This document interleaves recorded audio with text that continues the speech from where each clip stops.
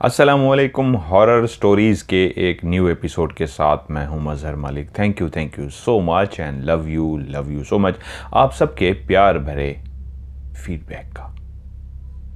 आज मैं आपको कहानी सुनाने जा रहा हूँ। ये मुझे इंडिया से रुबीना ने भेजी है। वो कहती हैं कि, सर, मैं नहीं, मेरे ख़ानदान के बहुत सारे लोग आपकी कहानी सुनते हैं, लेकिन ये काफ़ी अरसे से कहानी आपको भेजना चाह रही थी, लेकिन हिम्मत नहीं पड़ती थी कि कहानी आपको भेज सकूँ। आज हिम्मत करके आपको कहानी तो भेज दी है, लेकिन नमा, नाम जो है वो आप फर्जी कर लीजिएगा। क्योंकि मेरी तरह बहुत सारे लोगों के दुख ताज़ा हो जाएँगे।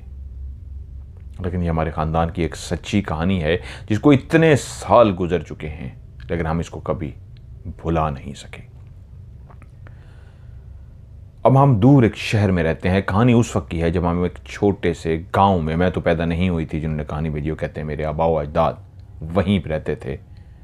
मेरा दादा और मेरी दादी। जब इनकी शादी हुई तो ये एक बहुत अच्छा कपल था। ना बहुत ज़्यादा खूबसूरत थे, ना बदसूरत, एक दरमियानी शक्ल सूरत के थे। सांवले से इनके रंग थे। और जब ये शादी हुई तो एक अच्छा कपल इस तरह का था कि ये दोनों खुशी खुशी रहना शुरू हो गए। गुजर बसर के लिए ज़मीन का एक टुकड़ा उनके पास था। ऐसी ज़मीन जिस पे वो काश्तकारी करते और उनकी बेहतरीन गुजर बसर हो जाती। लेकिन इस गाँव में वो रहते थे, उस गाँव का जो चौधरी था, वो जालिम मशहूर था। उसके जुल्म से कोई भी बच नहीं सका था। लेकिन जो मेरे दादा की ज़मीन थी, वो बहुत ज़्यादा तो नहीं थी, लेकिन इतनी थी कि सारा साल उनकी गुजर बसर अच्छी हो जाती। उसके अंदर, उस ज़मीन से वो जो भी फ़सलें उगाते, पैसे बचा भी लेते थे। और खाना पीना भी अच्छा हो जाता था। घर के अंदर बहुत ज़्यादा गुर्बत नहीं थी। वो अमीर भी नहीं थे, लेकिन इतना था। दो जी थे, उनका गुजर बसर अच्छा हो रहा था, क्योंकि दादाजी के आहिस्ता आहिस्ता अम्मी अबू भी इस दुनिया से चले गए। अकलौती वो अपने बाप की औलाद थी। पहले उनकी वालदा फौत हुई, फिर उनके वालिद भी फौत हुए गए। अब उनकी ज़िंदगी में सिर्फ़ मेरी दादी, जो उनकी बीवी थी, रिमला। रमला लफ्ज़ है या रिमला है, मैं माफ़ी का तलबगार हूँ, उन्होंने लिख के भेजा। रमला देवी मैं कह देता हूँ। रिमला देवी मुझे क्योंकि मैंने इससे पहले नाम ये सुना नहीं। इसलिए फर्जी, आप उन्होंने कहा मिलता जुलता नाम है, उनका असली नाम ये था। रिमला देवी और वो दोनों एक अच्छी ज़िंदगी बसर कर रहे थे। कि एक दिन दादा घर आए और बहुत ज़्यादा परेशान थे। दादी रिमला देवी से आके कहा, पानी ला के तो उन्होंने चेहरा देखा तो बहुत उतरा हुआ था, भागती हुई गई, पानी ला के दिखा, दिया। पूछा, क्या हुआ? दादा सर झुकाए बैठे रहे, काफ़ी सोच में, गहरी सोच में बैठे रहे और एकदम से बोले, जिसका डर था आखिर वो हो गया। दादी बोली, क्या? कि चौधरी ने मुझे बुलाया था। और चौधरी मुझसे कह रहा है कि मैं अपनी ज़मीन उसको औने पौने बेच दूँ। और जितना उसने रेट मेरी ज़मीन का लगाया है, वो एक किस्म से, एक किस्म का मुफ़्त ही लेना चाह रहा है मुझसे। और जब मैं वहाँ से उठने लगा हूँ तो उसने मुझे धमकी भी दी है कि अगर मैंने ऐसा ना किया तो वो ज़मीन वैसे भी मुझसे ले सकता है। और उसने मुझे कहा है जाओ, मैं घर की तरफ़ जब आ रहा था, ये सोचता हुआ आ रहा था, हम तो गरीब लोग हैं। हम चौधरी का मुकाबला नहीं कर सकते, वो बहुत ताकतवर है, छोटा सा गाँव है, कोई सुनता भी नहीं है, सब उससे बहुत ज़्यादा डरते हैं। मैं अकेला शख्स हूँ, कैसे उसका मुकाबला करूँगा? हमारी तो गुजर बसर के लिए यही सिर्फ़ ज़मीन है, जो वो कब्ज़ा करना चाहता है। रिमला देवी भी परेशान हो गई और मियाँ बीवी परेशान रहने लगे कि एक दिन दादा घर से निकले और शाम हो गई, वो वापस नहीं आई दादी परेशान हो गई, घर थे, उस गाँव के अंदर काफ़ी ज़्यादा घर थे, लेकिन फासले पे थे एक दूसरे के साथ जुड़े हुए घर नहीं थे। रात होने को आ गई थी, ऐसा कभी नहीं हुआ था कि वो कहीं जाते भी तो बता कर जाते थे। आज तो वो बता के ही नहीं गए थे, सुबह गए के, कह के गए थे कि मैं दिन को वापस आऊँगा, दिन गुजर गया, शाम हो गई और अब तो रात होने वाली थी। दादी का दिल घबरा गया, वो बाहर निकली। किससे पूछूँ? क्या पूछूँ? तो वहीं घर के करीब ही जो एक घर था, वो बहुत अच्छे दोस्त भी थे, दादा के। उन्होंने रात को देखा कि रिमला देवी बाहर निकली है। तो वो रुक गए और आवाज़ देकर पुकारा। रिमला देवी ने पहचान लिया, भागती हुई उनके पास गई, उन्होंने सर पे हाथ रखा और पूछा, क्या हुआ? रात को आप इस टाइम परेशानी की हालत में कहाँ जा रही थी? उन्होंने उनसे बताया कि वो घर नहीं आए। सुबह गए थे, दिन का कह के शाम हो गई, रात हो गई, अभी तक नहीं आए। वो भी सोचना शुरू हो गए और कहा हाँ वो ऐसा तो नहीं है, मेरा दोस्त है, वो ऐसे नहीं कर सकता, बगैर बताए घर से जाए। तुम बहरहाल घर जाओ, मैं पता करता हूँ, मुझे ये बताओ किसी कोई लड़ाई झगड़ा तो नहीं हुआ था? वो लड़ने वाला शख्स नहीं है, लेकिन कोई मसला तो नहीं हुआ था? तो दादी बोली हाँ कुछ दिनों से वो बहुत परेशान थे, उनको चौधरी ने बुलाया था। क्या कहा चौधरी ने? उन्होंने उनको बता दिया कि चौधरी ने उनको ये कहा था। कुछ देर सोचते रहे, कहा, ठीक है, तुम घर पहुंचो, मैं देखता हूँ। दादी को घर रवाना किया और वो ढूंढते रहे, कहाँ ढूंढते रहे, अल्लाह बेहतर जाने, लेकिन कोई रात के 11 बजे घर का दरवाज़ा खटखटाया गया। दादी ने कहा कौन है? तुमने नाम अपना पुकारा कि मैं हूँ, दरवाज़ा खोलो। अब घर के अंदर सिर्फ़ दादी थी और दो बच्चे थे। एक बेटी थोड़ी सी बड़ी हो सकी थी, उसकी उम्र तकरीबन साढ़े चार साल थी और एक छोटी बेटी जिसकी उम्र अभी दो बड़ी की उम्र साढ़े छः साल थी और छोटी की उम्र तकरीबन ढाई साल। माँ बाप करके कब के मर चुके थे? उनकी ज़िंदगी में सिर्फ़ यही दो बच्चे ही थे। एक बड़ी छः साल की हो चुकी थी और छोटी ढाई साल की थी। दरवाज़ा उन्होंने खोला, जल्दी से वो अंदर दाखिल हो गए। कोई और मौका होता, वो कभी भी उनको दाखिल ना होने देती रात के इस पहर। लेकिन इस वक्त परेशान थी, दरवाज़ा खोला और उन्हें जल्दी से आके दरवाज़ा बंद कर दिया और कहा, भाभी, एक बात बताओ। घर में कोई कीमती चीज़ है?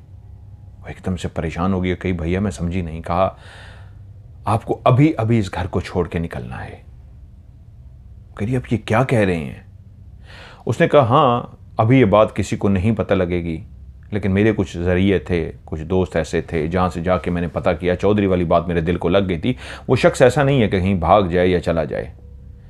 कल तक आपको तैयारी रखनी होगी, मजीद मैं मालूम ले रहा हूँ, कल तक कुछ ना कुछ पता कर लूँगा। मामला वही चौधरी वाला ही है। बस मैं आपको इतना कहने आया हूँ, मुझे कोई देखे ना कि मैं आपके पास आया हूँ। कल रात को आपके मैं पास आऊँगा, खुदा करे वो मिल जाए, अगर नहीं मिलता तो कल रात को मैं आपके पास, रात को आऊँगा, बैलगाड़ी लेके।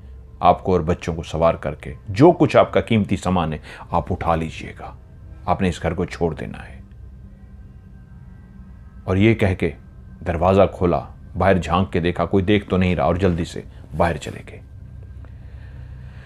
रिमला देवी रात सारी परेशान रही, रोती रही, उसका मजाजी खुदा घर नहीं आया था। बच्चे भी बाप का पूछते पूछते सो गए, लेकिन माँ कहाँ सो सकती उन थी उन बच्चों की, जिसका बच्चों का बाप ही घर नहीं था।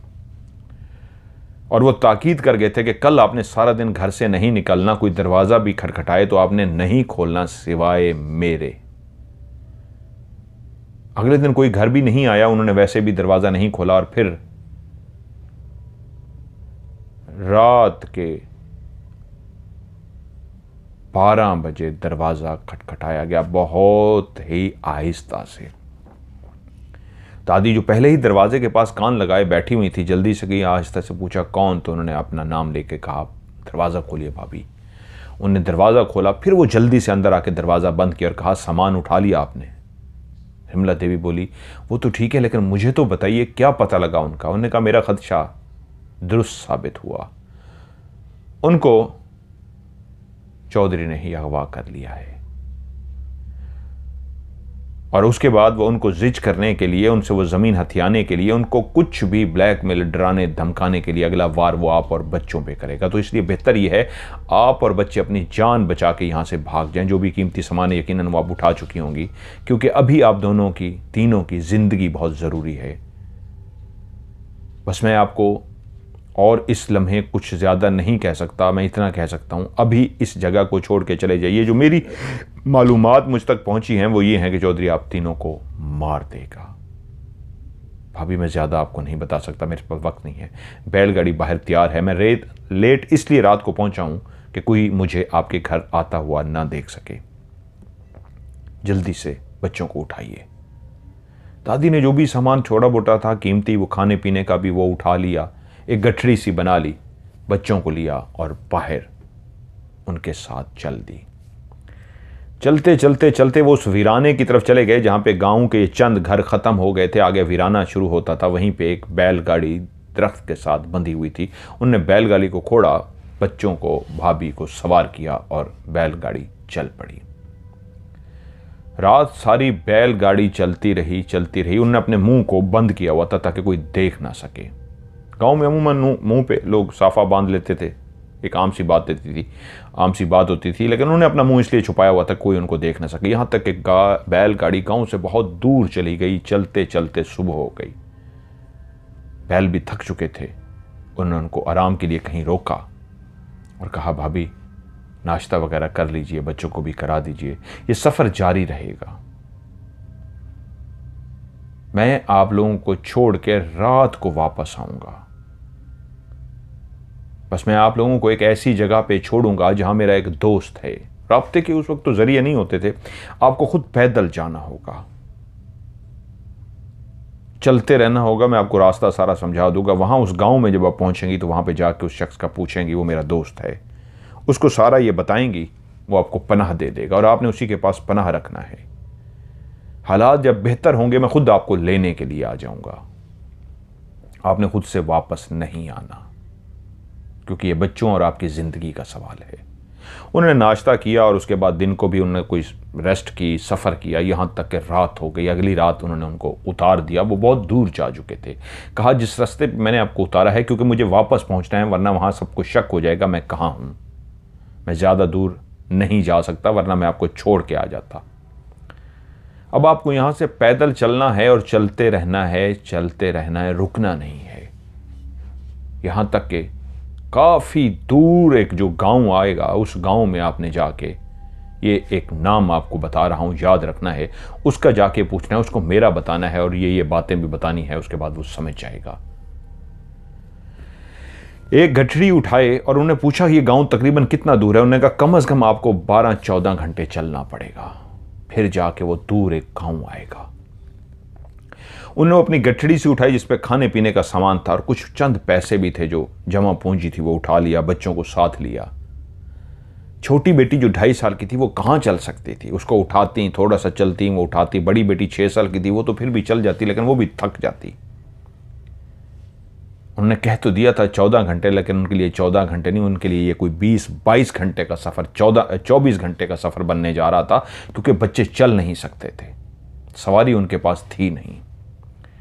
रेस्ट करते चलते, वीरान रस्तों से, तारीकी से चलते चलते चलते, कोई बीस घंटे गुजर गए, रोशनी फैल गई यहाँ तक कि फिर वो छुपते जा रहे थे, उनको वो ताकीद ये गई गई थी कि आपने जहाँ कहीं भी आबादी इंसान नज़र आए, उनसे दूर रहना है, ऐसी जगहों से गुजरना है जो वीरान सी हों। दिन की रोशनी में भी वो रुक से गए, रेस्ट की, यहाँ तक कि जब शाम होना शुरू हुई फिर उन्होंने अपना सफ़र को जारी किया और फिर तीन चार घंटे चलते रहे। यहाँ तक कि चौबीस घंटे उनको हो चुके थे। एक गाँव के आसार नज़र आने शुरू हो गए। उनकी हिम्मत जवाब दे गई थी। चलते चलते चलते वो एक जगह पे पहुँचे। वो एक कच्चा सा कमरा था जो टूटा फूटा था। जब कभी वो तोड़ी रखने, तोड़ी तोड़ी बोलते हैं शायद वो चारे के लिए जो होती है, जानवरों को रखने के लिए इस्तेमाल किया जाता था। वो खाली पड़ा था। सर्दियाँ थीं। रमला देवी अपने बच्चों को लेके, बेटी, दोनों बेटियों को लेके उस कमरे में जाके बैठ गई। बच्चे ठठर रहे थे। चल चल के थक गए थे। बुखार हो रहा था या क्या हो रहा था, अब उनको शदीद सर्दी लग रही थी। जो वो खाने पीने के लिए सूखा सा लेके आई थी, बच्चों को दी और परेशान थी, मैं अब कहाँ जाऊँगी? कैसे जाऊँगी? गाँव के आसार तो नज़र आए थे, लेकिन अब बच्चों के अंदर हिम्मत नहीं है। बच्चे बहुत अजीब सी हालत में थे। वो अपने भगवान को पुकारना शुरू हो गई। भगवान, ये कैसा इम्तिहान है? मैं कैसे इन, इस इम्तिहान से गुजरूँगी? यहाँ तक कि उनको महसूस हुआ कोई चलता हुआ आ रहा है। उन्होंने बच्चों को अपने सीने से लगा लिया। जो चलता हुआ आ रहा था, वो आहिस्ता आहिस्ता करीब आ रहा था। ऐसे लगा, वो शख्स यहाँ से गुजरने ही लगा है। लेकिन जब वो बिल्कुल इस कमरे के करीब पहुँचा तो ऐसा लगा जैसे वो रुक सा गया है। और उसकी बेटी वो जो बिल्कुल छोटी सी थी, वो जो चुप सी थी, बुखार में ठटर काँप रही थी, उस वक्त वो बोल पड़ी अपनी माँ की मुखातिब करने के लिए, जैसे माँ से बच्चे मुखातिब करते हैं। वो इतनी देर से काँप रही थी, बोल नहीं रही थी। उसने जैसे ही माँ को मुखातिब किया, बाहर खड़े हुए शख्स ने उस आवाज़ को सुन लिया और बोला, कौन है यहाँ पे? और एकदम से सामने आकर खड़ा हो गया। धोती पहने हुए, पुरानी सी एक कमीज पहने हुए, सर पे पगड़ी पहने हुए, ये कोई देहाती सा था। औरत दो बच्चों के साथ इस तरह देख के पूछा, कौन हो तुम? और रात के इस पहर क्या कर रही हो? रिमला देवी बोली, मेरे बच्चों को बुखार हो गया है। हमें आगे एक गाँव की तरफ़ जाना है। ये गाँव का नाम है और ये एक शख्स है, उससे जाके मिलना है। वो धोती वाला गाँव का पेंडू सा शख्स बोला, बच्चों को क्यों बुखार हो गया है? क्या हुआ है मासूम बच्चों को? तो बोली, भैया, बस हमें वहाँ जाना है। बस हमें रास्ता बता दीजिए, हम वहाँ पे पहुँच जाए। वो शख्स बोला, आपकी तो ऐसी हालत नहीं है कि आप इस तरह जा सके। बच्चों की हालत इस तरह नहीं है। जिस गाँव का आप बता रही हूँ, बहुत दूर है। और आपको मैं बता दूँ, वो रास्ता ये नहीं है जिस रास्ते पे आप आ रही हैं। आप कहाँ से आई हैं? तो उन्होंने बताया, मैं तो ये रास्ता इस तरह आई हूँ। उन्होंने कहा, आप गलत जगह, गलत आ गई हैं। आपने दूसरी सिमत जाना था। अब यहाँ से वो काफ़ी दूर है। फ़िलहाल बच्चों को उठाइए, मेरे घर ले चलिए। अब एक औरत थी, अकेली औरत पनाह की तलाश में बच्चों की हालत ख़राब, कभी भी एक गैर मर्द पे भरोसा ना करती, लेकिन बच्चों की हालत ऐसी थी, एकदम से डर गई और बच्चों की ऐसी हालत देख के कंप्रोमाइज़ करने पे तैयार हो गई, कहा, ठीक है भाई, मुझे पनाह दे दीजिए। बच्चों को उठाया माँ ने और उस शख्स के पीछे चल पड़ी। वो शख्स चाहता था कि बच्चों को वो उठा ले, लेकिन उसको समझ लगी कि माँ नहीं ऐसा चाह रही। बच्चियों को वो, कि वो उठाए। वो उसके पीछे चलती रही, चलते चलते चलते थोड़ी ही दूर वो चले होंगे कोई तकरीबन आधा घंटा कोई सफ़र किया होगा कि एक कच्चा सा घर आ गया। इर्द गिर्द उसके काफ़ी दरख्त बने हुए थे, लेकिन काफ़ी बड़ा सा ये घर लग रहा था। वो शख्स घर के अंदर दाखिल हुआ, उसने लकड़ी का दरवाज़ा खोला। एक बड़ा सा सहन था और सामने दो कमरे बने हुए थे और दो कमरे दूसरी तरफ़ बने हुए थे। आमने सामने दो कमरे थे और बीच में बड़ा सा एक सहन था। वो शख्स बोला, आप मेरी बहन हैं और मैं आपके सर पे हाथ रखता हूँ, जैसे बहन के सर पे हाथ रखा जाता है। बच्चों की ऐसी हालत लेके मैं आपको ले आया हूँ, मेरी बहन, डरना मत। मैं इस घर में अकेला रहता हूँ। मुझे पता है, मैं बच्चों को उठाना चाहता था आपके अंदर हिम्मत पैदा नहीं हुई तो अब इस घर में रहते हुए आपको शायद कोई डर खौफ आए। आपको डरना नहीं है। इस सामने वाले दोनों कमरे अपने हैं, आपके हैं, जाइए, अपने बच्चों को ले जाइए। मैं आपको गर्म कपड़े देता हूँ, दूध वगैरह देता हूँ। दरवाज़ा बेशक अंदर से बंद कर लीजिए, आपको मुझसे घबराने की ज़रूरत नहीं है। लेकिन जिस अंदाज में उसने रिमला देवी के सर पर हाथ रखा तो उसको हौसला सा मिला। रिमला देवी नॉर्मल सी हुई। बच्चों को लेकर अंदर कमरे में गई। उसने वाकई कपड़े शपड़े, गर्म दूध, खाने पीने की चीज़ें दी और बच्चों को गरमाइश पहुँची, कपड़े मिले, खाना पीना मिला। तबीयत आहिस्ता आहिस्ता बेहतर हो गई। छोटी बेटी की इतनी ज़्यादा बेहतर नहीं हुई, बड़ी कवर हो गई।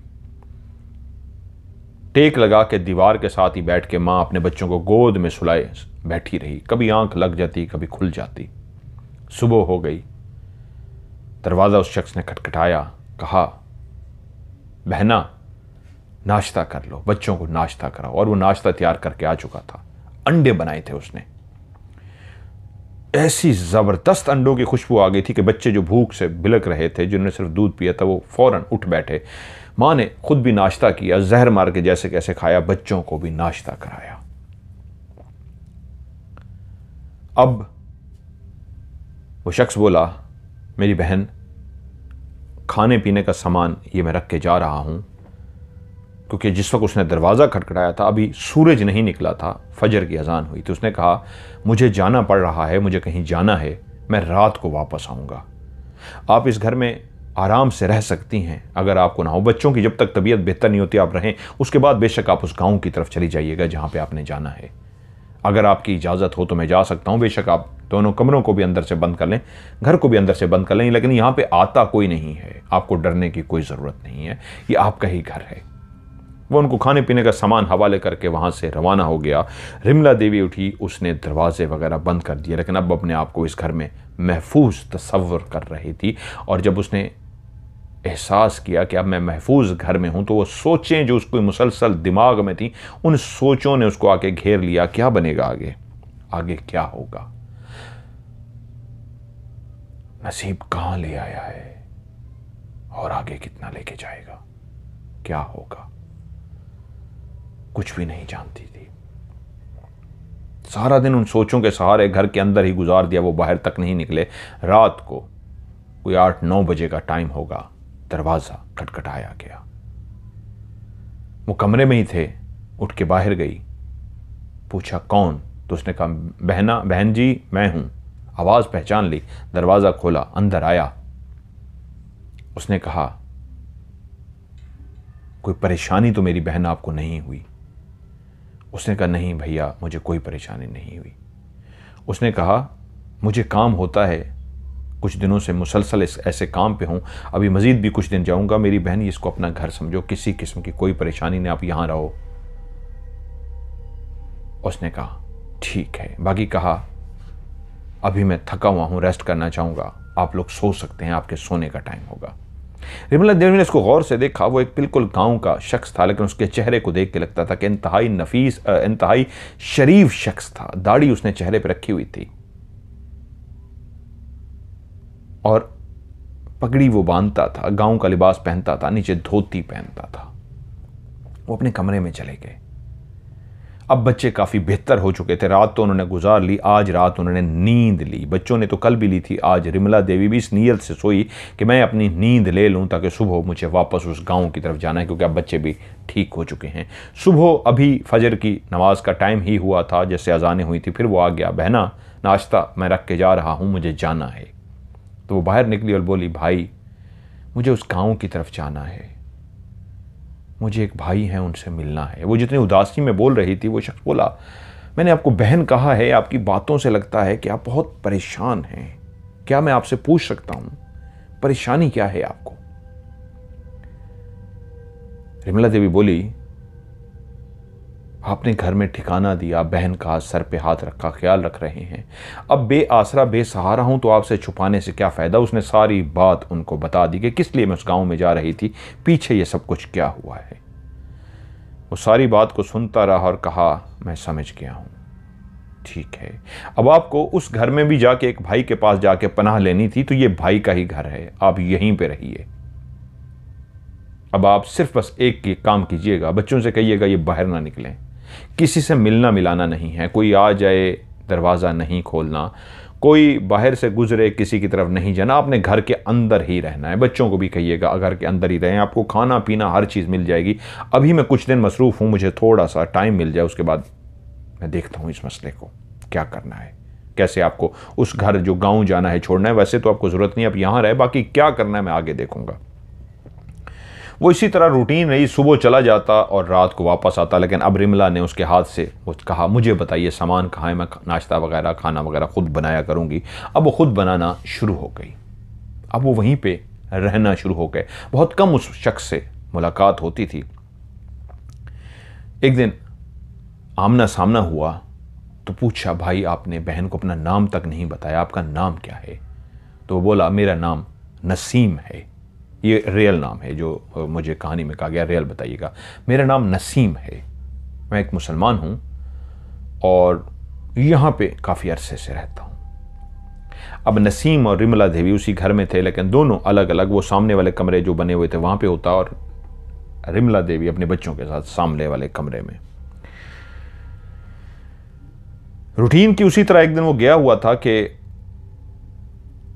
उसकी छोटी बेटी अब वो घर के सहन में तो खेलते रहते थे, बैठते रहते थे, बच्चे थे, अब तबीयत बेहतर हो चुकी थी, उसी घर में थे, बाप को भी याद करते, घर को भी याद करते, माँ कोई ना कोई बहाना बना देती कि बच्चे, दरवाज़ा खोला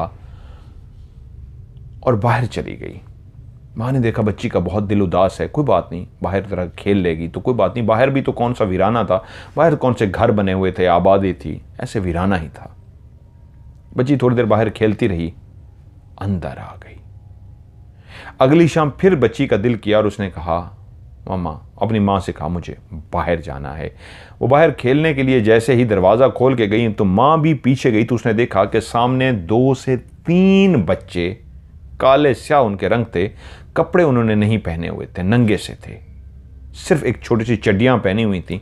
वो सामने आके खड़े हो गए, जैसे उस बच्ची से खेलना चाह रहे हैं। उस बच्ची ने देखा छोटे छोटे बच्चे जो उसके हम उम्र थे, काले स्याह से, गरीबों के उसे बच्चे से थे। सिर्फ़ चड्डियाँ पहनी हुई थी और वो सामने आके इस तरह खड़े हो गए, उसको देख रहे थे जैसे वो खेलना चाह रहे हों।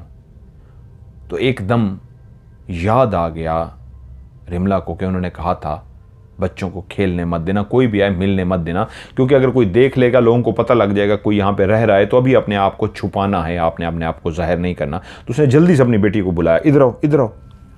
और उसको पकड़ के अंदर ले गई। बड़ी बेटी भी उसकी देख रही थी कि बच्चियों के साथ वो खेलने लगी है।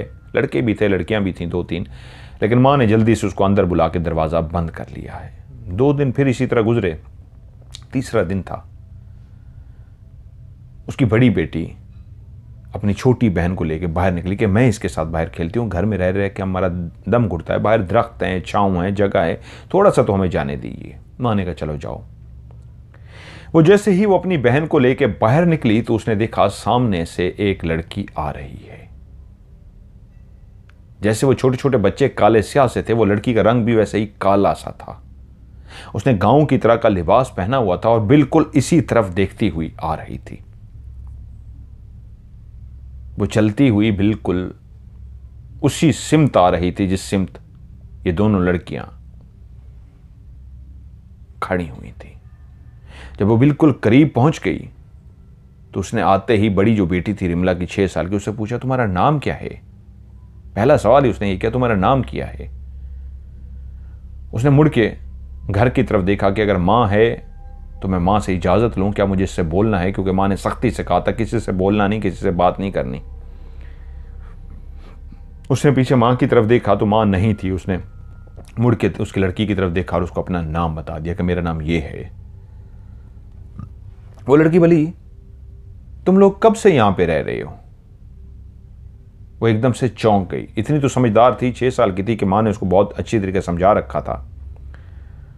तो एकदम बोली, नहीं, हम रह नहीं रहे, हमने जाना है, बस हम एक दो दिन के लिए आए हैं, फिर हम चले जाएँगे। वो लड़की बोली, मेरे साथ खेलोगी? अब उसका भी दिल था कि उसके साथ खेले। उसकी हम एज ही लग रही थी, उसे एक साल, दो साल बड़ी लग रही थी। लेकिन उसने पीछे मुड़ के देखा, कहीं माँ तो नहीं है, माँ देख लेगी तो माँ नाराज़ होगी, माँ ने तो छोटी बेटी को भी नहीं खेलने दिया था तो मैं बड़ी हूँ। तो उसने मुड़ के देखा तो दरवाजे में माँ आ चुकी थी और माँ ऐसे हैरत से देख रही थी जैसे बेटी को इशारा करी हो, जल्दी से वापस आओ, तुमने नहीं खेलना। माँ ने बेटी का नाम लेके पुकारा, उसको कहा, अंदर आओ, जल्दी से अपनी बहन को लेके। माँ के कहने पे उसने अपनी बहन का हाथ पकड़ा और अंदर की तरफ़ चली गई और वो लड़की जो खड़ी हुई उन दोनों को देख रही थी, उसने माँ की तरफ़ देखा और वापस मुड़ गई। ऐसे लगता था वो डायरेक्ट इनसे खेलने के लिए आई थी और साथ ही वापस मुड़ गई।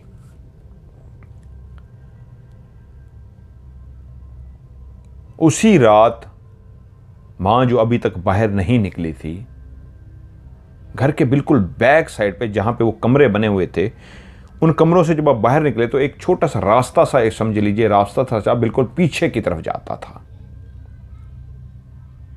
अभी आज वो नसीम साहब अंदर नहीं आए थे घर। वो इनका इंतज़ार ही कर रही थी कि उसने देखा पीछे भी एक रास्ता सा है। वो अभी तक उस तरफ़ नहीं गई थी। रात का टाइम तो उसने कहा, मुझे इस तरफ़ देखना तो चाहिए। ये क्या है? वो उस रास्ते की तरफ़ जाना शुरू हो गई। छोटा सा रास्ता था, यानी कमरा था, कमरे के साथ दीवार थी और बीच में एक गैप सा था, रास्ता सा कह लीजिए। वो उस रास्ते की तरफ़ चलती चलती गई और उसने जैसे ही वहाँ एंड हुआ वो रास्ता तो पीछे वो जो कमरे बने हुए थे दोनों कच्चे से, उनकी खिड़कियाँ उसी साइड पे खुलती थी और वो अक्सर खिड़की खोलती तो पीछे खाली जगह सी होती थी। वहाँ से स्मेल वगैरह आती थी। तो वो ये सोच के गई थी कि अगर स्मेल वगैरह है कोई पेशाब वगैरह करता रहा है तो इसको मैं सुबह उठ के साफ़ कर दूँगी। यहाँ से हम खिड़की खोलते हैं स्मेल आती है। तो जब उस तरफ़ गई तो उसकी निगाह जब ज़मीन पे पड़ी तो उसके मुँह से एक चीख निकल गई। ज़मीन पे एक इंसानी ढांचा पड़ा हुआ था। एक इंसान का ढांचा उसकी बकायदा खोपड़ी भी थी, उसके बाजू भी थे, उसके सीने का ढांचा भी था, उसकी टांगें और पाँव भी थे। लेकिन ऐसा लगता था काफ़ी पुराना ढांचा है, आज का नहीं, बहुत पुराना पड़ा हुआ जैसे उसके मुँह से चीख निकली और वह वापसी की तरफ़ भागी चीख मार के डर चुकी थी। और जैसे ही भागती हुई अपने कच्चे कमरे के सामने पहुँची तो सामने दरवाजे से नसीम साहब दाखिल हो रहे थे। उन्होंने चीख भी सुन ली सुन ली थी और उसको भागते हुए भी देख लिया था। वो भी तेज़ी से चलते हुए रिमला के पास पहुँचे और कहा, मेरी बहन, क्या हुआ? तो रिमला बोली, पीछे कोई ढांचा पड़ा है। वह एकदम से डरी हुई थी, वो एकदम से बोले, रिलैक्स रिलैक्स, मैं तुम्हें बताना भूल गया, ये बहुत पुराना है। किस इंसान का है, ये तो मैं नहीं जानता, लेकिन किसी इंसान का है, इतना ज़रूर जानता हूँ।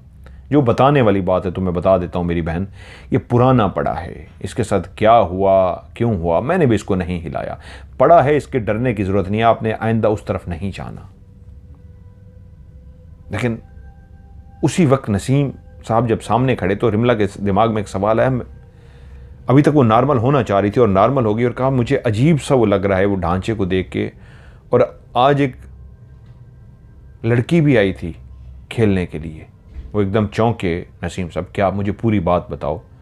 और उन्होंने बता दिया कि आज एक लड़की आई थी, मैंने बेटी को मना कर दिया और कुछ दिन पहले मेरी छोटी बेटी के साथ भी बच्चे खेलने के लिए आए थे और मैंने उनको मना कर दिया।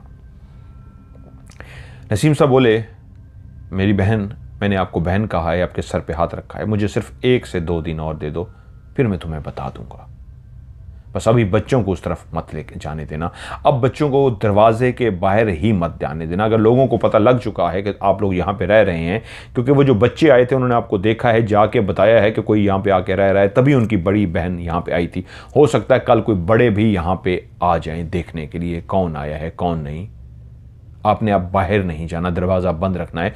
कोई दरवाज़ा भी खटखटाए तो आपने नहीं खोलना। मुझे सिर्फ़ कल का दिन दे दें, परसों मैं आपको बताऊँगा। अगले दिन ऐसा ही हुआ वो घर के अंदर रहे, बल्कि कोशिश की कमरे के अंदर ही रहे, सहन में भी नहीं आए कि ताकि कोई बाहर से आए तो किसी को पता ही ना लगे, वो है। मजबूरी में जब काम वगैरह होता तो बाहर निकलते। दिन गुजर गया और अगले दिन वो इंतज़ार कर रही थी, नसीम साहब आए और उनसे बात पूछी। जब नसीम साहब आए, आज वो शाम को ही पहुँच गए थे, अक्सर वो रात को आते थे। शाम को पहुँचे और कहा, मेरी बहन, अब मैं वो तुम्हें बात बता देता हूँ जो मैंने तुम्हें नहीं बताई। मेरी बहन, मैं यहीं पे ही रहता हूँ। मेरा ये कमरा है, यहीं पे इबादत करता हूँ, काफ़ी अरसे से रह रहा हूँ। लेकिन जिन बच्चों को तुमने देखा है और जिन लड़की को तुमने देखा है, उस रात से मैं पर्दा हटाना चाहता हूँ। बच्चे सो चुके हैं या जाग रहे हैं। उन्होंने कहा, नहीं, अभी तो शाम है, बच्चे अभी जाग रहे हैं। उन्होंने कहा, बच्चों को सोने दो, आप सुला दो। और अगर आप मुझे इजाज़त देती हो तो मैं पढ़ पे उनके ऊपर दम कर देता हूँ, ताकि वो अल्लाह की हिफाजत में चले जाएँगे। आपको घबराने की ज़रूरत नहीं है, डरने की ज़रूरत नहीं होगी। मैंने आपको कुछ दिखाना है। बच्चे जब सो गए तो उसने बुलाया, भाई, आइए, बच्चे सो गए हैं। तो उसने आके बाकायदा कुरान मजीद की तिलावत की और बच्चों पे पढ़ के दम कर दिया। कहा, अब बेफिक्र हो जाइए, अल्लाह की हिफाजत में आ गए हैं। अभी थोड़ा वक्त और है, थोड़ा इंतज़ार कर लीजिए, उसके बाद आपको मैं बाहर लेके जाता हूँ। वो डर रही थी कि ये मुझे कहाँ रात के इस पहर बाहर लेके जाएँगे और क्या ऐसा राज है जो दिखाने के लिए वो कह रहे थे कि आपको मेरे साथ बाहर जाना होगा। अकेली एक औरत के लिए यकीन परेशानी की बात थी। तकरीबन कोई आधे पौने घंटे के बाद उन्होंने आवाज़ दी, मेरी बहन, आ जाइए। वो आ गई। उन्होंने कहा, जी भाई। उन्हें सर पे दुपट्टा ठीक किया। कहा, आइए मेरे साथ। वो उनको लेके बाहर की तरफ़ गए। वो उनके पीछे चुप करके चलती रहीं। उन्होंने कोई, कहते हैं कोई हमने 25-30 मिनट का फासला ही तय किया था कि आगे रोशनियाँ सी नज़र आई, आग जैसे जलाई जाती है। ऐसी रोशनियाँ सी थी। वो मुझे अपने पीछे चलने का इशारा कर गए थे मैं उनके पीछे चलती जा रही थी। जैसे हम रोशनियों के करीब पहुँचे तो मुझे कहा, आप उस दरख्त के पीछे खड़ी हो जाइए। एक बड़ा सा घना सा दरख्त था, मैं उसके पीछे खड़ी हो गई और मुझे कहा, देखिए, सामने क्या नज़र आ रहा है? निर्मला देवी कहती है कि मैंने सामने देखा, बिल्कुल कपड़ों के बगैर औरतें और मर्द, बिल्कुल इंसानों की तरह जिस तरह थे, वो बिल्कुल इधर से उधर आ जा रहे थे, लेकिन उनके कब बहुत ज़्यादा कद लंबे थे। इंसानी कद से तकरीबन अगर इंसानी कद पाँच फुट आठ इंच या छः फुट होता है तो वो सात फुट, आठ फुट के कद थे। दो दो तीन तीन फुट लंबे थे। वो एकदम से परेशान हो गई और देखा नसीम साहब की तरफ़ कि ये क्या है, उनको वो बोले, मेरी बहन जिनको तुम देख रही हो, ये इंसान नहीं है। ये भी अल्लाह की मखलूक है। इस वक्त ये एक रूप धारे हुए है। मैंने तुम्हें कहा था ना, एक दिन दे दो, उसकी वजह यह है कि आज हम इनका खास दिन है। इस दिन ये इंसान की तरह रूप धार के ये इकट्ठे होते हैं। लेकिन ये रोज राज को ही इकट्ठे होते हैं। लेकिन आज जिस तरह मैंने बच्चों के ऊपर पढ़ के दम किया है तो आप पे भी दम कर दिया था ताकि आप इनको देख सको। अगर मैं आप पे पढ़ के दम ना करता तो आप इनको ना देख सकती। मेरी उस पढ़ाई की वजह से आप इस काबिल हुई हो कि इनको देख रही हो, देख पा रही हो जो आज आ रहे हैं। ये इंसान नहीं है, ये जिनात हैं। जिस बस्ती में मैं आपको लेके आया हूँ, ये जिनात की बस्ती है। इसलिए मैं आप लोगों को मना करता हूँ कि इनसे मिलना नहीं है, इनसे दूर रहना है। ये सारे जिनात हैं। किट किट की है सामने से, वो बिल्कुल कोने से किसने? ये हरकतें हैं। जिस तरह मैं पहले भी आपको वीडियो दिखा चुका हूँ, करते रहते हैं। अभी सामने चेयर रखी हुई है कुर्सी, उसकी किट किट हुई है। उस जगह ये सारे जिनात हैं। इस वक्त मैंने आप पे भी फूंक मार दी है, ये आपको नहीं देख सा, पा रहे। लेकिन आप उनको देख पा रही हो उस दायरा कड़े की वजह से जो मैंने आपके ऊपर किया है।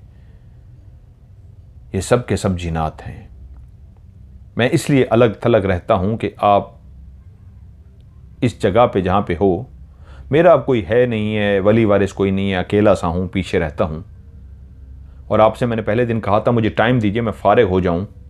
मैं ज़रूर आपका हल कुछ बताऊँगा। तो आज आपको दिखाने के लिए इसलिए लाया हूँ कि इस तरफ़ जो आप परेशान हो रही थी ना, आपको बता रहा हूँ, ढांचे की कहानी क्या है कि ये जो हैं, ये सब जिन्नात की नस्ल हैं। ये उनका कबीला है जो यहाँ पे रहते हैं ये सारे। सुबह होते ही सारे ये गायब हो जाएँगे। रात सारी ये जागते हैं। जो इनकी रात है, इंसानों की तरह, हमारी तरह, जब हम इंसान दिन को घूमते फिरते हैं, इनके लिए ये दिन है। जो अंधेरा है, ये इनका दिन है। रात हमारे सोने के लिए है, दिन इनके सोने के लिए है। बहरहाल, ये आपको दिखाने का मकसद क्या था? आपने मुझसे पूछा ना, वो ढांचा क्या है, वो किस लिए है? मेरी बहन, इन्हीं में से ही किसी का वो ढांचा है। वो इंसानी रूप में ही था जब वो मरा था। मुझे कैसे पता है, ये भी वक्त पे आपको बता दूँगा। क्योंकि वो इंसान का ढांचा नहीं है, एक जिन का ढांचा है जो इंसानी रूप में था। इसलिए जब मरा, जिन जब इंसानी रूप में होते हैं तो गायब हो जाते हैं। लेकिन जब वो मरा था, उसका ढांचा क्यों वहाँ पर रह गया? क्योंकि वो जिन नहीं, शयातीन में से था। इंतहा का बुरा, जालिम और घटिया गुनेगार शैतान था। इसलिए उसका ढांचा भी वहाँ इबरत के लिए पड़ा है। लेकिन आपको डरने की ज़रूरत नहीं है। इंसान का ढांचा होता तो मैं खुद एक मुसलमान हूँ, उसको ज़मीन के हवाले कर देता। वो एक शैतान था, जालिम शैतान था, तंग करने वाला शैतान था। इसलिए जब मरा तो इसलिए उसका ढांचा इबरत पड़ा हुआ है। मेरी बहन, घबराना मत। और रह गई। उस चौधरी की बात मैंने पता लगा लिया है। अब आपको आपके घर छोड़ने का टाइम आ गया है। बहुत सारे सवाल आपके दिमाग में होंगे, वो मैं आपको वहीं चल के दूँगा आपके गाँव में। मैंने बैलगाड़ी का बंदोबस्त कर लिया है। कल हम रवाना होंगे। आपको आपके गाँव लेके जाना है। विमला देवी बोली, भाई, लेकिन क्या पता लगा है, कहाँ है मेरे शोहर? हमारी ज़मीन का क्या है? तो वो बोला बहुत सारे जवाब आपको वहीं चल के दूँगा। आपने मुझे अपना भाई माना है, मैंने आपके सर पे हाथ रखा है, बहन माना है तो इसलिए आपको घबराने की ज़रूरत नहीं। मैं अपनी बहन का पूरा साथ दूँगा। वो उनको कहा, आइए, घर चलते हैं। लेकिन निर्मला देवी ने पहली दफ़ा जिनात को देखा था, जो इंसानी रूप में थे लंबे लंबे छः जो आठ फुट, नौ फुट जिनके कद थे, वो आ जा रहे थे। उनके जिस्मों पे कोई लिबास नहीं था, लेकिन उनके जिस्म काले स्याह से थे। ऐसे जैसे काले साए से होते हैं। और जब वो मुड़ी है तो मुड़ मुड़ के देख रही थी। और तभी नसीम साहब बोले, जो देख चुके थे, रिमला देवी मुड़ मुड़ के देख रही है, कि जब आप लोग घर में होते थे तो मैं दायरा कड़ा करके घर को जाता था। लेकिन जब आपकी बेटी खेलने के लिए बाहर चली गई तो वो उस दायरे कड़े से बाहर निकल आई थी। तब उन छोटे बच्चों को पता लग गया था और वो खेलने के लिए आ गए थे। और उसी की वजह से उसकी बड़ी लड़की भी आपकी बेटी के साथ खेलने आ गई थी। इसलिए मैंने आपको कहा था, अंदर ही रहिएगा। बहरहाल वो उनको लेके घर गए, कहा, कल हम रवाना होंगे, आप अपना सामान वगैरह पैक कर लीजिएगा। अगले दिन उन्होंने अपना सामान सामान सारा पैक किया। गाड़ी का बंदोबस्त, बैलगाड़ी का वो बंदोबस्त कर चुके थे। वो बैलगाड़ी में रवाना हुए। सफ़र करते करते करते वो उस गाँव में पहुँच गए जो रिमला देवी का गाँव था, जिसके साथ जीने मरने की कस्में खाई थी, उसके शोहर का गाँव था, जो अब लापता था। वो जब गाँव में पहुँचे तो रिमला देवी सीधा अपने घर की तरफ़ उस बैलगाड़ी को लेके गई, फिर से रात हो चुकी थी। वो उनको कह के गया था कि हम रात को सफ़र किया करेंगे, दिन को हम सोया करेंगे रेस्ट किया करेंगे। और जब रात होती तो वो चलते रहती, बैलगाड़ी चलती रहती, और जब सुबह होती तो वो किसी ऐसे दरख्तों के झुंड के अंदर गाड़ी को ले जाता, जहाँ पे एक छांव सी होती। और वो कहता, आप इसी बैलगाड़ी के ऊपर ही सो जाइए, मैं साइड पे सो जाता हूँ, क्योंकि आप मेरी बहन हैं और मैं एक मर्द हूँ, मैं आपके सामने नहीं सो सकता। एक पर्दा होता है। तो इसलिए मेरी बहन आप आराम से सो सके, मेरी वजह से कि मैं लेटा हूँ, आप परेशान ना हो, मैं साइड पे सो रहा हूँ। और वो साइड पे जाके सो जाते और ये वहाँ पे सो जाते। जब शाम होती, अंधेरा फैलता, वो आ जाते। फिर से सफ़र शुरू होता। यहाँ तक कि रिमला देवी अपने घर पहुँची तो उसका घर बंद पड़ा हुआ था। बैलगाड़ी को उसने बाहर रोका। रिमला गाड़ी, रिमला देवी को अंदर रवाना किया और कहा अब आप अपने घर में रहिए, आपको किसी किस्म की कोई परेशानी नहीं है। आपका शोहर कल आपके पास आ जाएगा।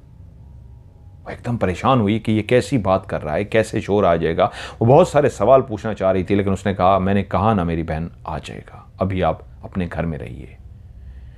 मैं सुबह आपके पास आऊँगा। वो वहाँ से चले गए, वो अपने घर में थी, खौफजदा भी थी। क्या हुआ? मुझे तो पता नहीं, वाकई मामला हल हुआ, नहीं हुआ। नसीम साहब ने बताया भी कुछ नहीं और हौसला दे गए हैं, बातें कर गए हैं, लेकिन कुछ भी नहीं पता। यहाँ तक के सुबह के, अभी अजानों में भी घंटा, डेढ़ घंटा रहता था कि दरवाज़ा खटखटाया गया। वो भागी कहीं मेरा शौहर आ गया है, दरवाज़ा खोला। तो आगे नसीम साहब खड़े थे। जो खुशी से भागी थी, लिपटने के लिए अपने शौहर से कि मेरा शौहर आ गया है। सामने नसीम साहब को देख के चौंक सी गई, मुँह लटक सा गया, वो समझ गया और बोले, शोहर का इंतज़ार था। और भाई को देख के उदास हो गई उदास मत हो मेरी बहन। सर पे हाथ रखा और कहा, मुझे अंदर दाखिल होने दो। वो अंदर दाखिल हो गए। कहा, बैठो। वो बैठ गए। कहा, तुम्हारे तमाम सवालों का मैं जवाब देने लगा हूँ। पहली बात यह है, तुम्हारा शोहर ज़िंदा है। वो उस चौधरी की कैद में है। मैंने सारा पता लगा लिया है। चौधरी ने उसको कैद इसलिए किया था कि उसके बाद वो तुम्हें और बच्चों को अगवा करके वहाँ लेके जाता और तुम्हें और बच्चों के ऊपर तशद करता। इस तरह तशद करता कि उसको मजबूर कर देता कि वो सारी ज़मीनें, कागज़ वगैरह अंगूठे लगा देता। और हो सकता है उसके बाद तुम्हें और बच्चों को और तुम्हारे शोहर को मार देता। अगर वो उस वक्त ना मारता तो बाद में आहिस्ता आहिस्ता मार देता, क्योंकि उसको पता था कि तुम्हारे जो शोहर है, वो ज़मीनों की वजह से ना सिर्फ़ परेशान होगा, बल्कि इधर उधर कहीं बताएगा। तुम उसके जुल्म के किस्से तो सुन चुकी होगी, मेरी बहन। अब आते हैं, कब आएगा? वो कल आ जाएगा। रिमला देवी तुम्हें मैंने बहन कहा है और एक भाई की हैसियत से। मैं मुसलमान हूँ, मैं झूठ नहीं बोल सकता, इसलिए कुछ हकीकत तुम पे वाजे करना चाहता हूँ। जब तुम वहाँ रात को मेरे पास रात को वहाँ पे पहुँची थी, मैं रात को वहाँ से गुजर रहा था, बच्चों के साथ जब तुम वहाँ पे थी, बच्चे ठठर रहे थे। मुझे महसूस हुआ कोई इर्द गिर्द कोई है और बच्ची जब तुम्हारी बोली तो मैं पास पहुँच गया, तुम्हारे सामने आ गया। वहाँ से तुम्हें मैं अपने घर ले गया। मेरी बहन, मेरे रखने में कोई गलती, कोताही, कोई अच्छी मेहमान, नवाजी मैं ना कर सका हूँ तो उसके लिए दिल से माजरत खा उसकी रीज़न ये है, तुम ये सोचती होगी, कैसा भाई था कि दिन सारा गायब रहता था, पूछता तो नहीं था, रात को आ जाता था तो मेरी बहन, मैं उस मखलूक में से हूँ, जो दिन को सामने नहीं आ सकते। जिस मखलूक को मैंने आपको दिखाया था, वहाँ पे लंबे लंबे कद में फिर रहे थे, वो सारे जो थे, वो जिन्नात में से थे और मैं भी उसी मखलूक में से हूँ। मैं इंसान नहीं हूँ। जब तुम लोग वहाँ पे रात को रुके थे तो मैं वहाँ पे अपने असली रूप में था जिनात के रूप में। लेकिन मुझे पता लग गया था और मैं एकदम तुम्हारे सामने आता, तुम डर जाती। इसलिए मैंने इंसान का रूप धारा और इस तरह पैदल चलता हुआ आया कि तुम्हें पता लग जाए कि कोई आ रहा है। और जब बच्ची बोली तो फिर मुझे और मौका मिल गया, मैं तुम्हारे सामने आ गया और फिर मैं तुम्हें अपने घर लेके गया। वो जो जिनात जिन इस कबीले को, जिन जिनों को चलते फिरते आपने देखा था, वो मैं क्योंकि उसी कबीले से हूँ, जिनात में से हूँ, इसलिए मैंने अमल किया था और आप उन जिनात को देख पाई थी, वरना आप कभी भी ना देख सकती। आपके सामने वो उसी रूप में आए थे।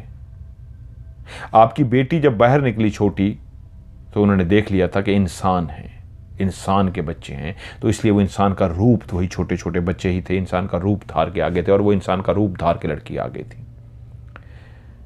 क्योंकि जब हम अपने असली रूप में होते हैं तो आप हमें नहीं देख सकते, इसलिए हम इंसान का रूप धारते हैं। और वो भी जो पीछे पड़ा है, उसको मैंने सज़ा दी थी। वो हमारे जिनात के कबीले में से ही एक था। बहुत ही गुनहकार बहुत ही खौफनाक। आपका जब मैंने आपको जो मैंने लिया था, आपको मजबूर मैंने समझ लिया था। लेकिन जब आपने मुझे अपनी हकीकत बता दी थी, जो कुछ मैं पहले भी जान चुका था तो मैंने फैसला कर दिया था कि आपको ज़रूर इंसाफ दिलाऊँगा। लेकिन मेरे अपने कुछ हमारे कबीलों के होते हैं मामला जिसमें मैं फंसा हुआ था, टाइम नहीं दे पा रहा था। अब मैं आसान हुआ हूँ तो आ गया हूँ। अब ऐसा करके जा रहा हूँ, आपका शोहर ना सिर्फ़ वापस आ जाएगा, बल्कि ज़मीन भी आपको वापस मिल जाएगी। और ये ऐसा करके जाऊँगा कि दोबारा चौधरी कभी भी आप लोगों को परेशान नहीं करेगा। लेकिन मैं क्या करूँगा, ये ना पूछना मेरी बहन। और हाँ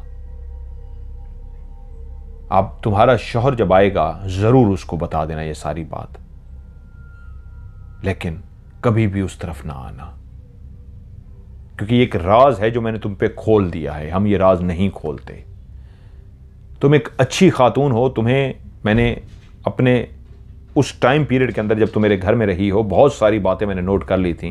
मैं बहुत तुमसे खुश हुआ था। तभी आज मैं बहुत सारे राज तुम्हें बता के जा रहा हूँ, इनको अपने पास ही रखना। मेरी कभी भी ज़रूरत पड़े तो मेरी भी कुछ मजबूरियाँ हैं। ऐसा नहीं है कि मैं भाग कर तुम्हारे तक पास पहुँच जाऊँगा। हो सका तो मैं ज़रूर आप लोगों से मिलने आऊँगा, आपके शोहर से भी मिलने आऊँगा। लेकिन आप लोग दोबारा उस सिमत की तरफ़ नहीं आएँगे। और अगर आप कोशिश भी करेंगे तो आपको वो इलाका, वो जगह नहीं मिलेगी। ये भी कुछ राज है जो मैं नहीं बता सकता। अब मैंने जाना है, लेकिन क्योंकि आपके शोहर कल आ जाएँगे, उनसे भी मैं मिल के ही जाऊँगा। अब मैं इजाज़त चाहता हूँ। बहुत सारे अभी भी सवाल बाकी थे, उलझी हुई बातें करके गए थे, इजाज़त ली, चले गए। और ऐसा ही हुआ, अगले दिन तकरीबन 12 बजे का टाइम था कि उनके शोहर घर आ गए काफ़ी कमज़ोर हो गए थे, हड्डियों का ढांचा हो गए थे, मुँह पे भी खराशों के निशान थे। लगता था कि मारपीट की गई है तशद किया गया है। बीवी देखते ही शोहर को बेचैन हो गई। शोहर की तैमदारी में लग गई, उसकी देखभाल में लग गई। शोहर कुछ होश में आए तो बीवी से बोले, तुम लोग, मैं तो कैद में था। तुम लोगों के ऊपर क्या गुजरी? तुम लोगों ने क्या किया? बीवी ने कहा, जिस फरिश्ते ने हमारे ऊपर एहसान किया है, आज वो आपसे मिलने के लिए आएगा। मेरा वो भाई है, उसने मेरे सर पे हाथ रखा है। और पूरी कहानी उसको बता दी कि वो इंसान नहीं, जिन्नात में से है। शौहर एकदम झटका मार के उठ से, लेटा हुआ था, उठ के बैठ गया कि कैसी बातें कर रही हो? तो बोली, हाँ, उसी की ही वजह से तुम छूट के आए हो। बाकी बातें अगर कुछ हैं तो उनसे पूछ लेना। शोहर सोचता रहा, बीवी से तो कुछ नहीं कहा। जब रात हुई तो दरवाज़ा खटखटाया गया। शोहर उठा दरवाज़ा खोलने के लिए, बीवी ने इशारा किया, रुको, मेरा भाई आया है। वो बैठ सा गया। दरवाज़ा खोला तो सामने नसीम साहब थे, कहा, आइए भाई, तशरीफ़ लाइए। उसी ही लिबास में, जिस लिबास में वो पहले दिन सामने आए थे, आज भी वही लिबास पहना हुआ था और चलते हुए सामने आए। और इमला देवी के सर पे हाथ रखा, कहा, अपना वादा पूरा किया तुम्हें इजाज़त दी थी मेरी बहन की, इनको बता देना। तो इनको बता चुकी होगी। इनके दिमाग में भी बहुत सारे सवाल होंगे तो मैं जवाब दे देता हूँ। हाँ मैं उसी मखलूक से हूँ जिसका इन्होंने आपको बताया है। मैं इंसान नहीं हूँ, इंसानी रूप में हूँ। कभी कभी इंसान की कोई नेकियाँ उसके काम आ जाते हैं। हमारा दीन धर्म मुख्तलिफ़ है। मैं मुसलमान हूँ और आप एक और दीन से हैं। लेकिन मुझे मौका मिला अपनी बहन के काम आने का तो मैंने काम किया। आपको ज़िंदगी में मौका मिले तो बस इतनी एक रिक्वेस्ट करने आया था भाई आपसे। आपको भी मौका मिले तो कैसे ज़िंदगी में कोई भी ऐसा सामने आए जो मजबूर हो, लाचार हो, उसको मदद की ज़रूरत हो तो उसकी ज़रूर मदद कर देना। चौधरी तुम्हें कभी भी तंग नहीं करेगा और चौधरी कभी भी अब तुमसे कोई डिमांड नहीं करेगा। वो शौहरन फ़ौरन बोल पड़ा हाँ मुझे पता है इस बात का, क्योंकि चौधरी ने मुझसे माफ़ी भी मांगी थी और मुझे पता लगा है चौधरी शदीद बिस्तर पे आ चुका है। उसकी हालत बहुत ख़राब है। और आगे से वो नसीम साहब बोले, सिर्फ़ आपका हिस्सा वापस नहीं, और बहुत सारे लोग जो इस दुनिया से चले गए हैं, उनका भी हिस्सा वो खा चुका है। इस दुनिया में भी उसके लिए सज़ा है और आखरत में भी उसके लिए सज़ा है। अब वो खुदा की पकड़ में आ चुका है, ये ठीक नहीं हो सकेगा। लेकिन देखो, कैसा जालिम शख्स है, लेकिन उसके यहाँ जो बेटे पैदा हुए हैं, वो जालिम नहीं है। बेटे बाप से बिल्कुल मुख्तलिफ़ हैं। शायद इसका इतना ही वक्त था। अब भाग दौड़ बेटों के हाथ में आ जाएगी। बेटे किसी को तंग नहीं करेंगे। अब ये जितना अरसा ज़िंदा रहेगा, इसी बिस्तर पर रहेगा। यही सज़ा है उसके लिए। और ये मैं सिर्फ़ आपकी वजह से उसको सज़ा नहीं दे के जा रहा, उसने कई लोगों के साथ ऐसा किया है। शायद ये केस मेरे सामने आना था और मुझे ही सौंपा जाना था कि मैं इस केस में इस तरह इन्वॉल्व होता कि सबको जिन जिन के साथ ज्यादती हुई है, उनका बदला लेता। मैंने बदला ले लिया है। अभी बहुत सारे काम हैं जो मुझे करने हैं। मैं इजाज़त चाहूँगा। तो रिमला देवी का शोहर खड़ा हुआ और कहा, मुझे कुछ आपसे मांगना है। बोला, मांगो। अगर मेरे बस में हुआ तो ज़रूर दूँगा। तो रिमला देवी कहती है, मेरे शोहर ने कहा, मुझे उसी दीन में आना है जो आपका दीन है। मुझे अपने दीन में शामिल कर लीजिए। रिमला देवी भी अपनी जगह से खड़ी हो गई और कही हाँ मैं भी यही चाहती हूँ। मुझे इस दीन में शामिल कर लीजिए। तो उसी वक्त रिमला देवी कहती है कि उन्होंने, हम दोनों मियाँ बीवी को कलमा पढ़ाया। हम दोनों को मुसलमान किया और हम दोनों मुसलमान हो गए। हमारे बच्चे भी मुसलमान हो गए। वो हमें मुसलमान किए। हमने उनको बहुत रोकने की कोशिश की। उन्होंने कहा, नहीं, अभी बहुत सारे काम हैं। बहुत कुछ करना है। जिस कबीले को मेरी बहन देख के आई है, उस कबीले का मैं भी कोई छोटा मोटा एक अहदा रखने वाला शख्स हूँ। सरदार तो नहीं हूँ, लेकिन उस कबीले में एक अहदा रखता हूँ। मेरा वो कहना मानते हैं। मुझसे प्यार करते हैं तो बहुत सारे उनके भी काम हैं जो करने वाले हैं। हमारी एक अपनी दुनिया होती है।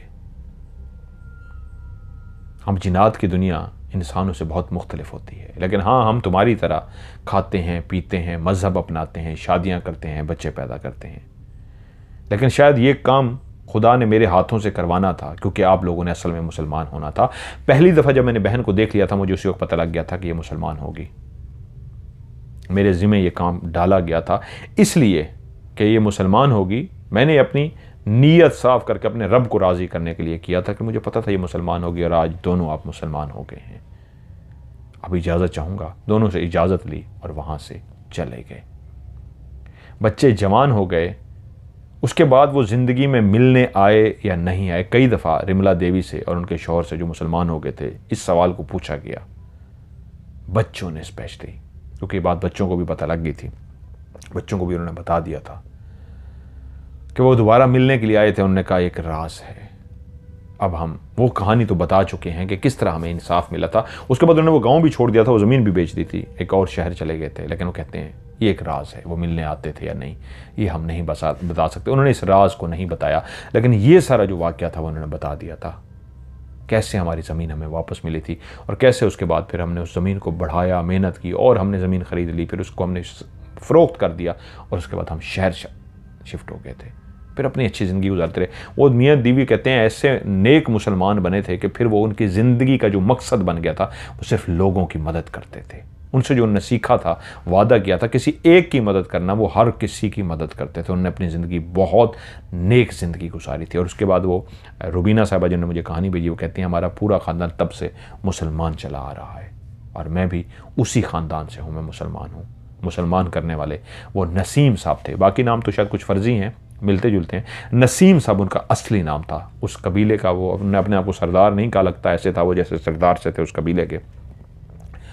और वो एक रियल नेम था उनका, नसीम साहब, वो जो जिन थे, जिन्होंने उनकी मदद की थी।